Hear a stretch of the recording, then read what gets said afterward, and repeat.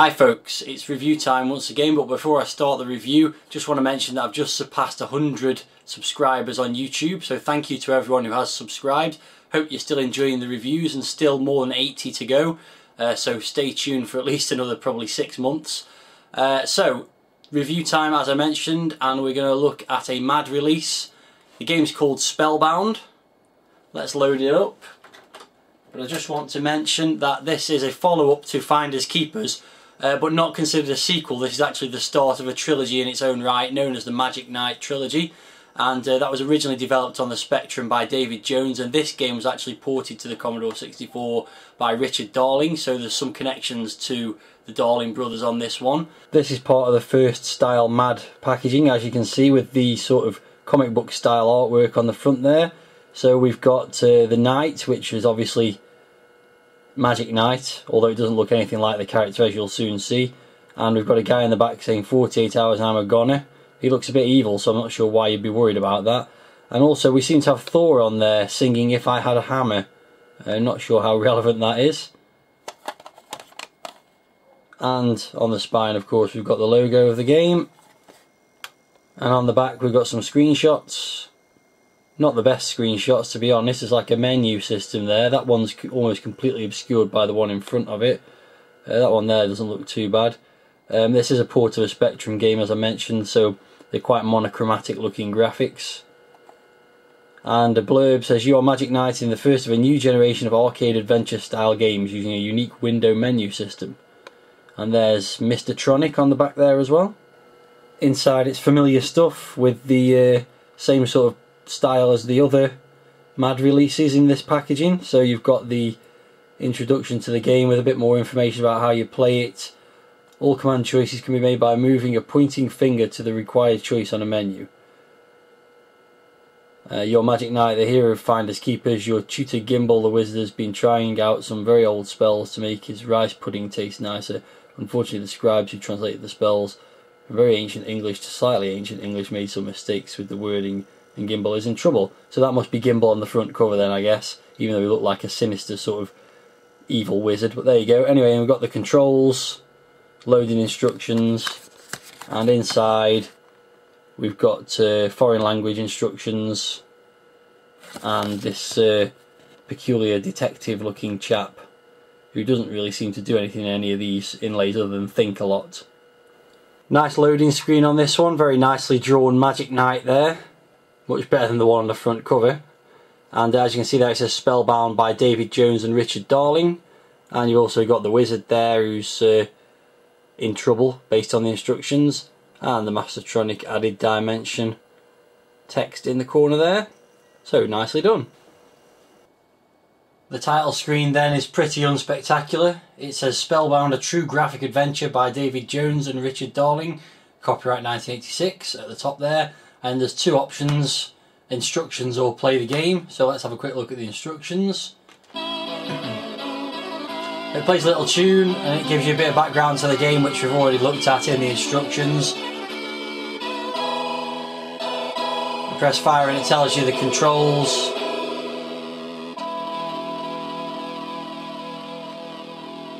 And uh, a bit more about the game. This game features Windowmation starring you as Magic Knight with a big list of characters. That music, by the way, is by Rob Hubbard, as is the in-game music. Uh, so let's play the game. So your little magic knight spawns in this room with a moose mounted on the wall. Maybe it's a reindeer, who knows. Anyway, so there's uh, the controls are pretty straightforward. Left and right move your left and right.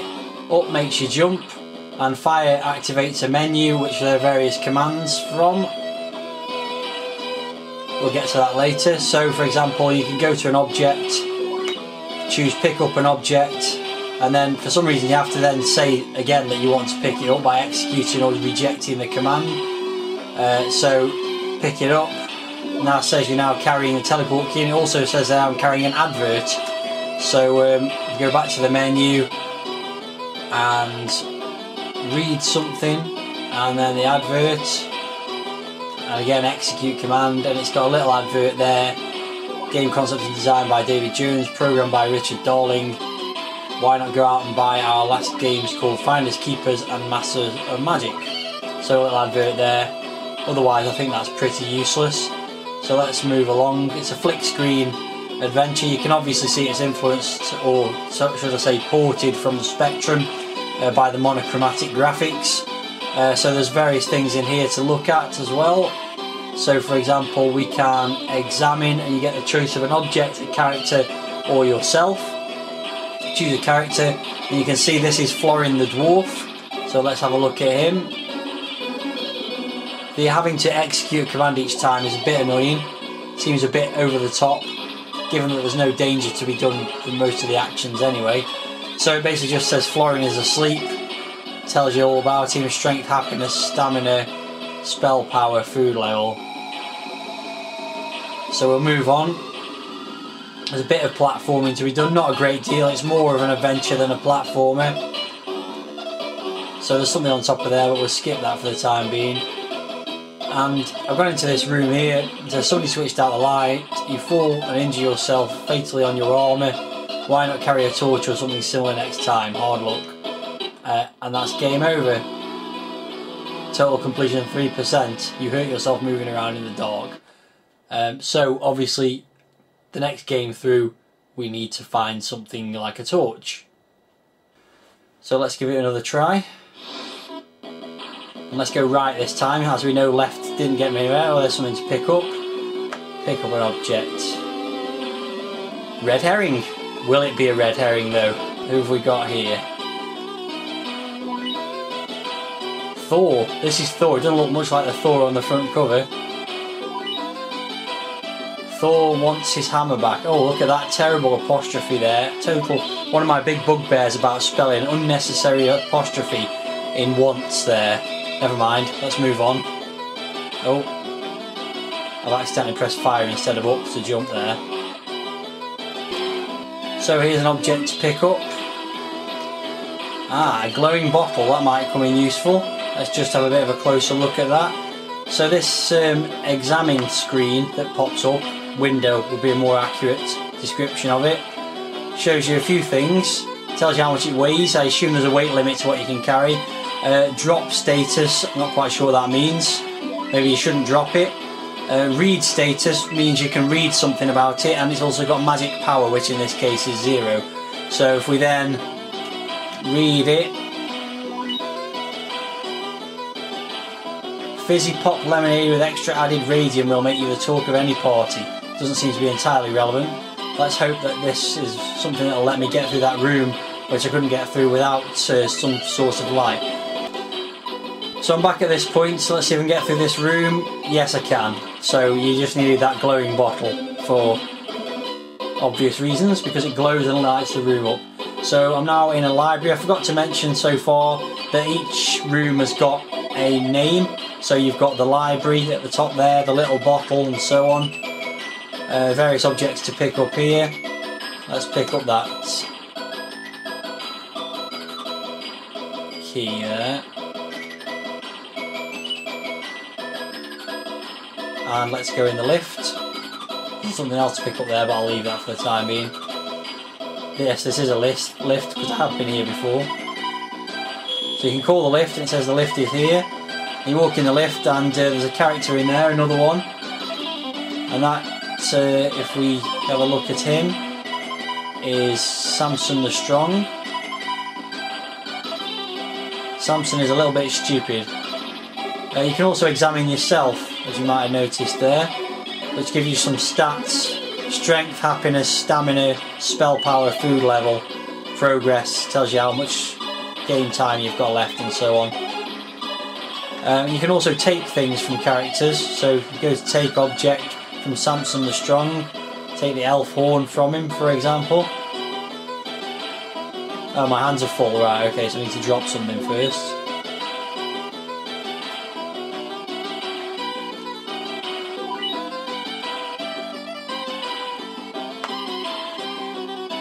Oh, I've now picked up the crystal ball. I didn't mean to do that, but it might come in useful. What else have we got there?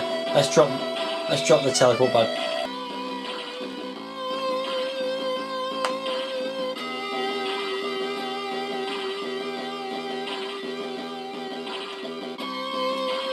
Okay, so let's now try and take an object from Samson. Take the elf horn. Okay, I've got that now. So let's use the lift. As you can see, as I've picked various things up, you get more options on this menu. So I can now cast a spell, although I don't know which ones to cast at the moment. I can read, I can blow something. Now, that's going to be the elf horn, I assume. Blow the elf horn, you can actually summon somebody. So let's try summoning um, Elrond Malfay Elven or something. Harfy Elven. He does not want to be summoned. Okay, fair enough. Let's try just using a lift. So you can move to various levels. Currently on the third floor as it said on the lift that was flashing. So let's get up to the roof. So now on the roof obviously everything that was in the lift has come with me. So if I need that for anything else it's quite useful. There's something else to be picked up here. I'm just going to dump a bit more stuff in the lift. So I picked up a bottle of liquid and again you can read it and examine it and everything. Restorative fluid, 100% proof, that sounds like something that might be quite useful. And there's something else there, but what I'm heading over to is the last screen here. Oh, there's a, there's a person here. Who's this? Lady Rosmar. Lady Rosmar is very clever. Fair enough see if we can take anything from her. Willow rod or a fast blow fuse. I don't know what I need either of those things for at the moment. Oh, she wants to keep that. Let's try the other thing. She wants to keep that as well. So much for that. Moving on. Uh, so basically, as I'm sure you've already worked out, um, it's one of these games where you've got to play it a lot and work out what to do with the various objects. Uh, I haven't done that yet, I haven't really managed to do that. I've now picked up the Wand of Command, which, if I press fire again, you've now got the option to command a character. There's nobody in the room, so let's go and find somewhere where there is someone in the room and see what we can do. So command the character, um, you can tell her to be happy. She'll try to be happy. That's nice, seemingly pointless. Uh, so yeah, basically it's one of these, oh, game over. I've died of exhaustion. That's a bit annoying. Okay, so I ran out of health. I can't quite work out how you're supposed to get more health at the moment. I've picked up the red herring again, thinking that might be a food item. Uh, so let's have a look and see what it says on the red herring. There's actually some clues here. Two of the most useful objects will start in the roof garden. A certain bottle will be useful if given to Florin and then taken back due to Florin's magical powers. Interesting. Now read the key. Well, I've got a bottle. Shall I try giving this to... This is Florin, so let's see if I can give the bottle to him and then take it back.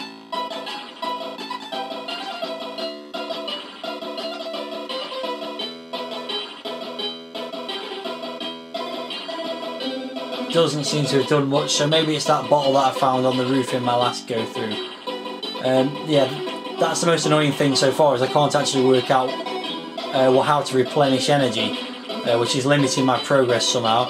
This might be the key that it said to read, so let's have a look at this. Uh, the menu um, interface thing is quite clever, but a bit on the tedious side. Let's have a look what this says. The magic talisman can be of much use if you can mend it, or get somebody else to mend it. Okay? So there, it does give you some clues at least. Uh, I hadn't realised that until this go, so maybe I'd have got a bit further by now if I'd read the red herring earlier in the game. So let's go back up to the roof.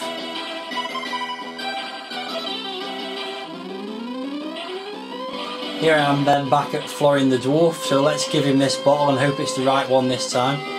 So give him the bottle of liquid. Okay.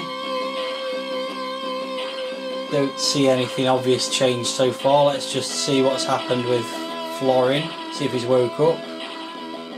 No, he's still asleep. let's try taking it back.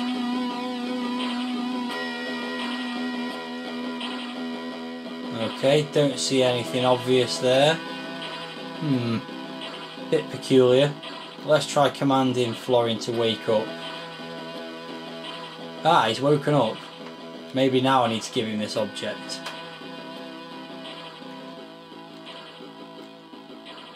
Okay, still nothing really obvious going on there. Let's take it back again.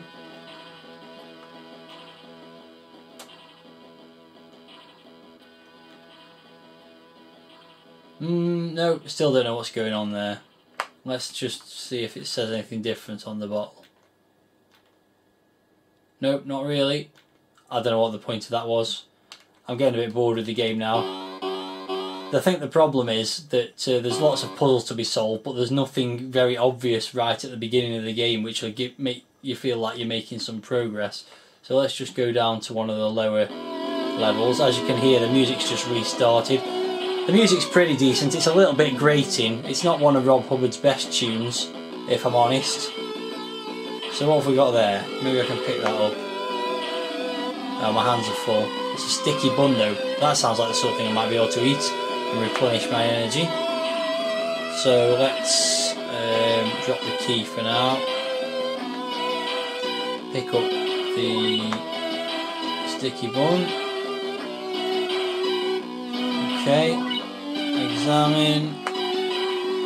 Yeah, so basically I'm just, I'm kind of bored with the game. It's one of those games where you've really got to have a lot of time to keep playing through it, um, and I haven't really got that time. So um, it's quite a nice game, it's got a nice interface, the animation's nice, the graphics are quite cute, um, you know the characters are quite nicely drawn, there's no obvious power to that sticky bun so I'll just hold on to that and maybe it'll replenish my energy. Oh, choke, choke, this room is full of deadly nightshade gas which is fatal to all who attempt to learn master blah blah blah. Basically I've died again and that's another bugbear with the game is basically you've got no hint that you're going to die going into that room, the only way you can find that out is by trial and error, um, and that's quite annoying. So that's going to be it for the game. Is it worth 2.99? Not to me personally, it never would have been because I've never had the patience for these kind of games. But if you're into these kind of adventures, if you're a fan of games like Dizzy, for example, then I'm sure this would have been of some benefit to you. Perhaps it becomes a little less tricky in the later episodes. Maybe the uh, difficulty level was dropped a little bit in Knight Tyme and Stormbringer. So I'll be reviewing those sometime in the future, but not immediately. Uh, so for now, that's it with this one, and I'm going to say not worth the 2.99, despite being a quite nicely polished game.